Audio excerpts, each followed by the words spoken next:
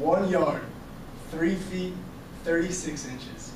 That's how close the Tennessee Titans got to beating the St. Louis Rams in Super Bowl 34 in the National Football League. Quarterback Steve McNair threw the pass down the middle of the field, caught by Kevin Dyson. Sprinted towards the end zone, leaps towards the end zone, only to get pulled back one yard short.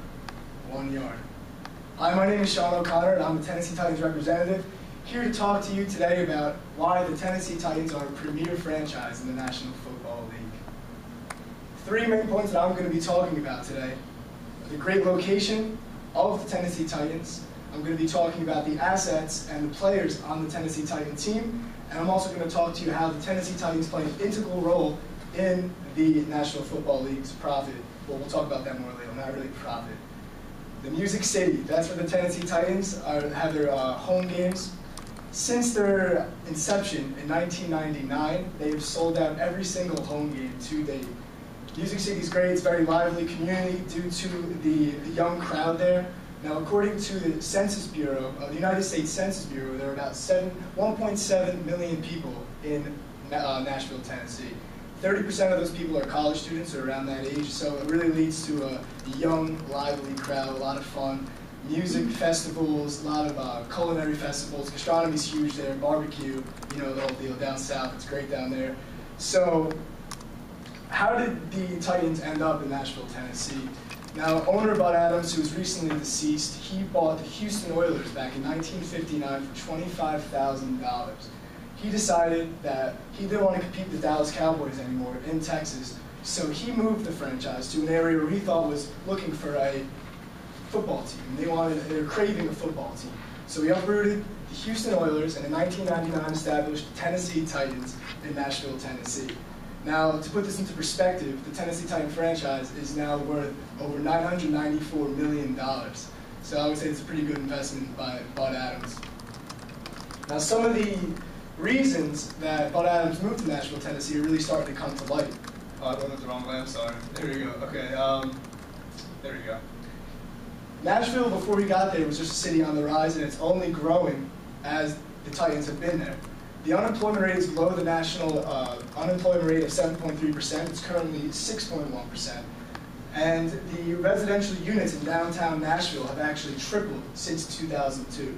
Now, that's not just to say it was the Tennessee Titans that helped build this. However, they've become a much more affluent economy thanks to the Tennessee Titans and all the fans going there. Football's huge down south. If anyone's ever been down south to Texas, Nashville, Tennessee, anywhere, football is huge. And it's helped bringing in younger crowds and more people into Nashville, Tennessee, and down south. Now, next I'm going to be talking to you about some players on the Tennessee Titans. Now, before I get into detail on this, I want you to think about this in a different way.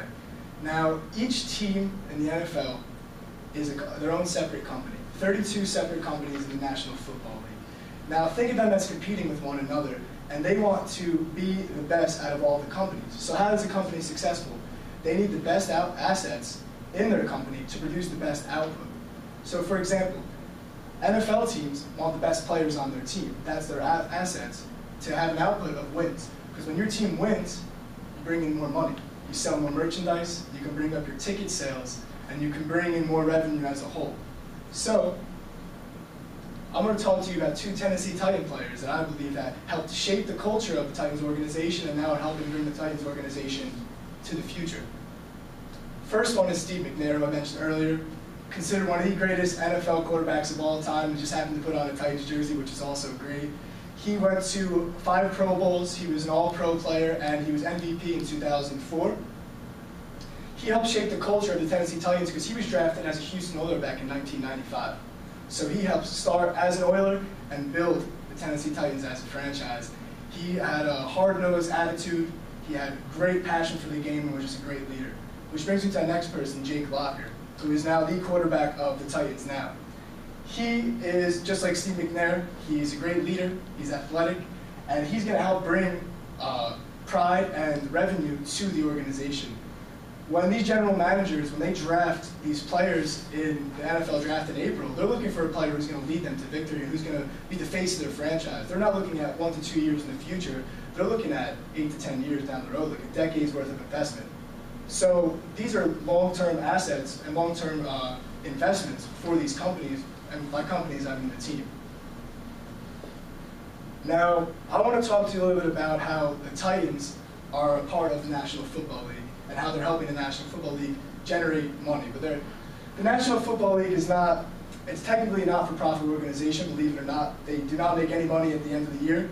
However, according to Forbes.com, they brought in over $9 billion in earnings last year before they gave out their salary expenses and other stuff along those lines, paying the officials and other organizations, charities, and along those lines. Now, the Tennessee Titans are only the 18th most profitable out of 32 franchises in the NFL. That might not seem like a lot, however, they've only been in the league for less than 15 years. So they're up there with some of the teams that have been there for a while. The New England Patriots, they've been there with the Green Bay Packers, and they're on the rise. As I mentioned earlier, Nashville is gaining steadily in uh, residents, and they're gaining money, and their economy is doing fairly well. Um, as time goes on. Even during hard financial crisis in 2008, they still were affluent and they still prospered. And I mentioned earlier that they're $994 million in earnings for uh, last year alone. So they're very, very prosperous and they're about the average for the uh, national average for football teams.